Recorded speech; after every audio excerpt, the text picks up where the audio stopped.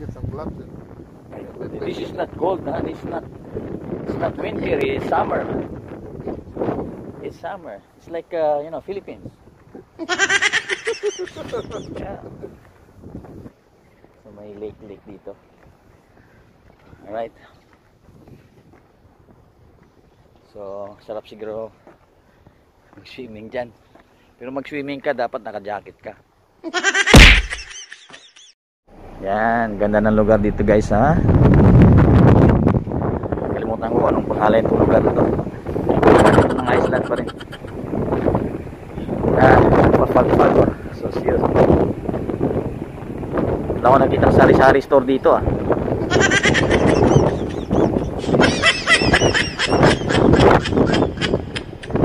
Makakapaglakad-lakad nga mamaya.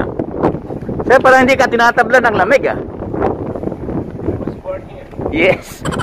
Sana all.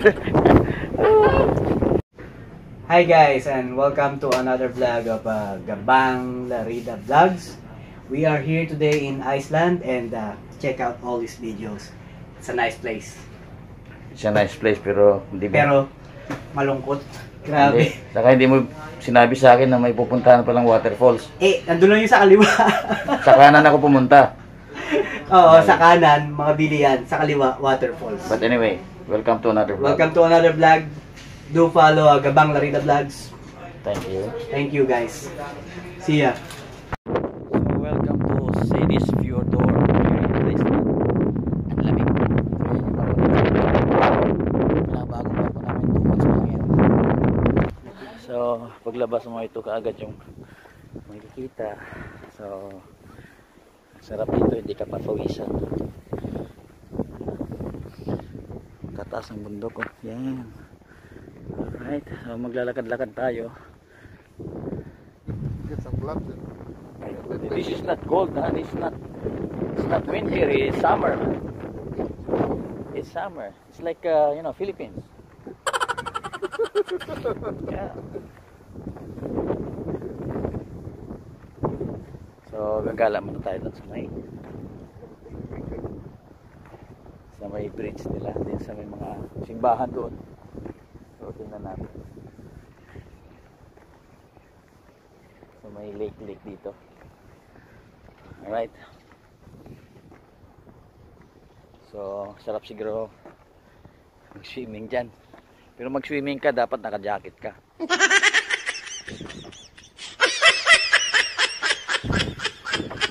ah, ganda. So, yan yung barko namin. Seaborn Venture. So, 2 months pa lang yan na nag-ooperate.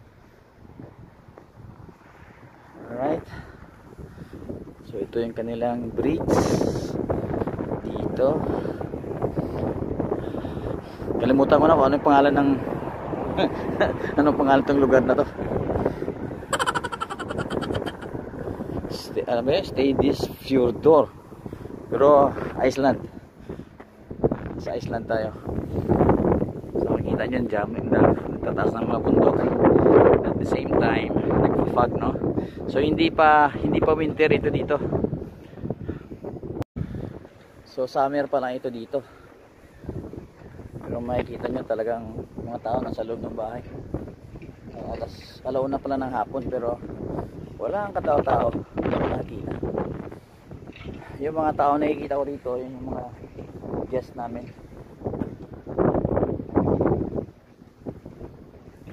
Yeah, so punta tayo simbahan. So masarap magtambay-tambay dito siguro. Kaso sa lamig, eh, no? Dapat ang inumin mo rito isang pitchil na kape. Pag diyan ka. See, that's the view. Similar ang view dito sa Iceland, similar sa Norway. Tataas ang bundok. Daming mga may mga ilog-ilog, tapos yung mga bahay is colorful pero made of wood so lahat ng mga lugar na malalamig na lugar yung kanilang ah, bahay is made of wood talaga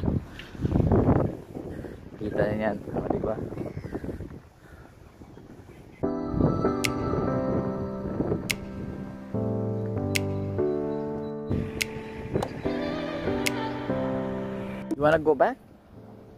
Okay, then I have. I, I, Yeah, yeah.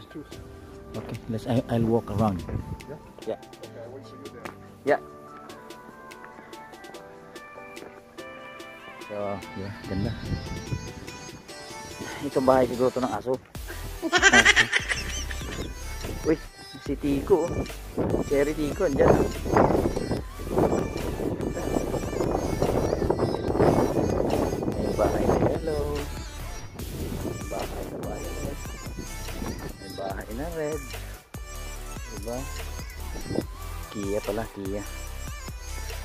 Ganda.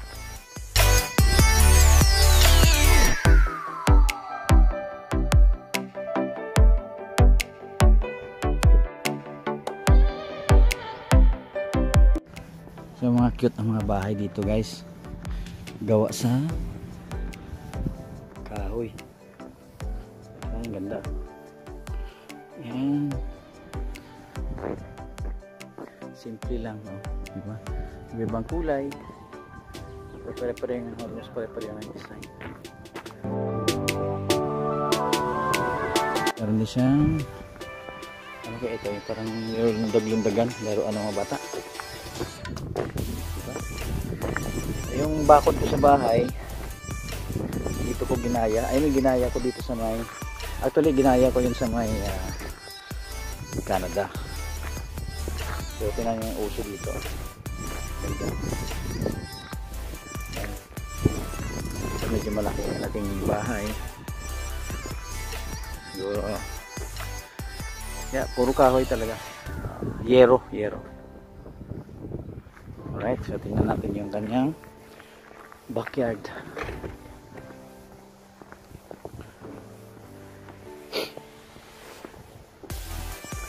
Ang ganda ng backyard niya. Ano, well maintained yung kanyang lawn. Di ba? Magandang kahoy din. Ano yung kahoy niya? Sampalok. Ganda.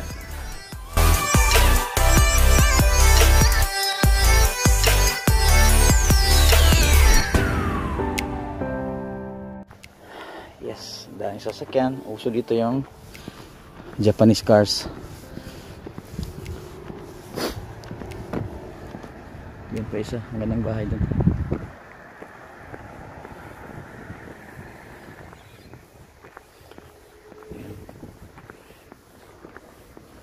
CRV. Karamihan. So may lake-lake dito. So punta tayo sa kabila. Ito cute oh. Oo. Di ba? Cute yung kanyang entrance ng bahay. Ganda. So yan may church sila. Hybrid na Honda CRV. Yan. Ganda no? Maganda rin yung bahay niya.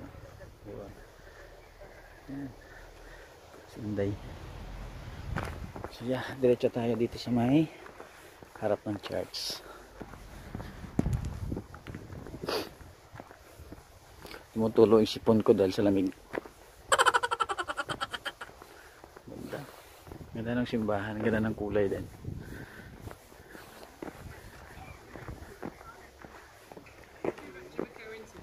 Yes.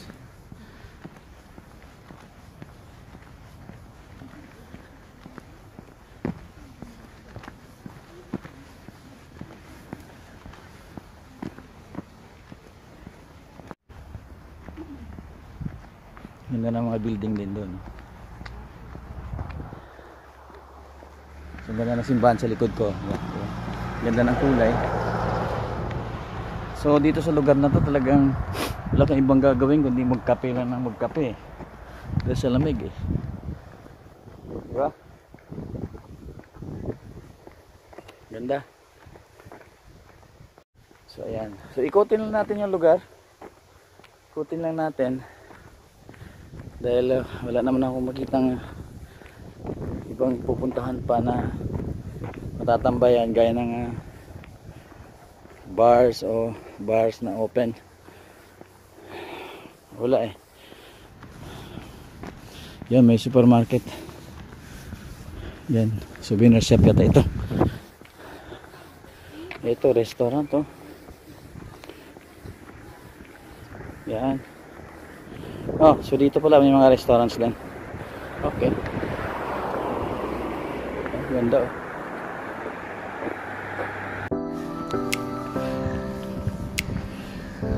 So bar. Okay. 241. So, restaurant. Hotel. Ulit naman. So, dito. Pwede ka mag alfresco. Kasi nga, hindi mainit. Diba? Yes, ang ganda. Ano na lugar. May sushi bar din.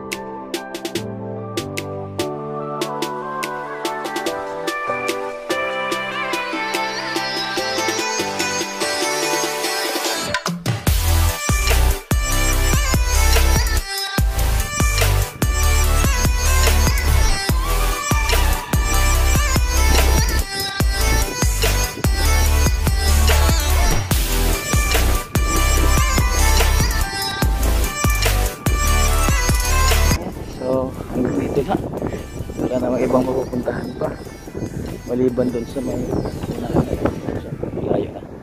Balik na sa barko dahil naantok ako. Hotel to ito. Gandang hotel. Yan. Mahirap dito mamintura, no? Kasi hindi ka agad matuyo.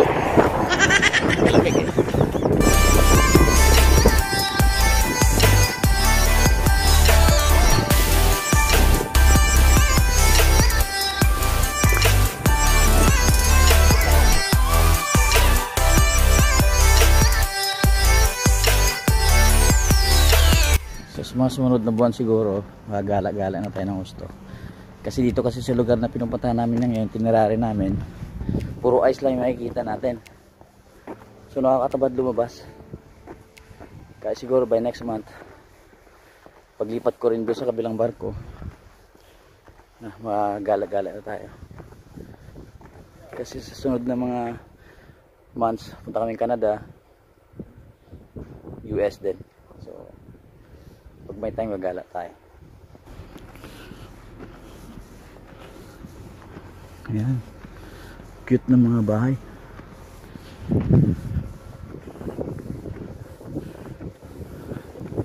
Hello.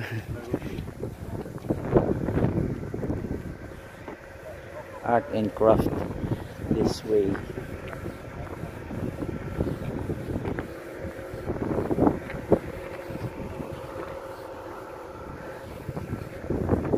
Ito maganda oh. Di ba?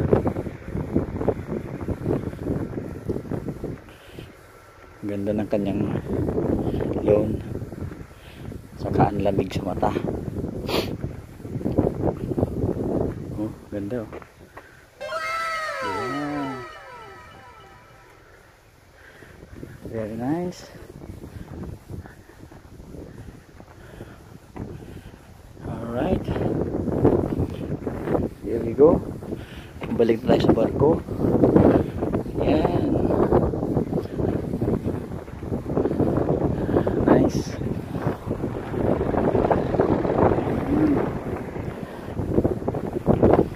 Nice place.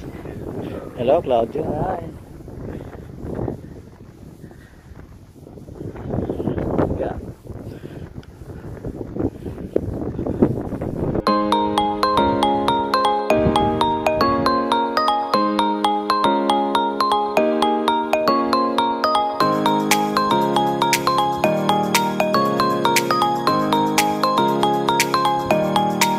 Puntahan natin yung ano, nakalagay. Cheap fuel in Iceland daw.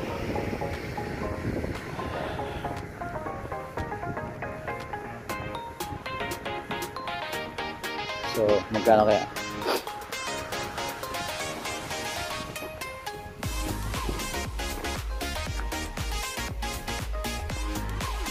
Yan.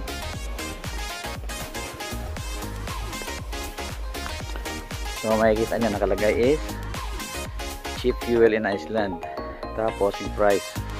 Hindi naman kita ng gusto. Nasa ano, diesel is 326.7 nung pera nila. Hindi ko alam kung kano yun sa dollar o sa peso. Sa Iceland ito, i-check natin mamaya kung magkano yun sa may peso. 326. So yan yung aming barko brand new 2 months old balik tayo dun so ito yung ating quick uh, walk around tour dito sa town ng uh, kalimutan ko kung anong pangalan. Kaya Pacific kasi. So so Iceland po. So yeah. Salamat sa panonood guys. And uh, abangan nyo yung mga vlogs natin sa pa na mga buwan. Salamat sa panonood and God bless sa inyo lahat. Gabang Larida Vlogs. It's my Iceland.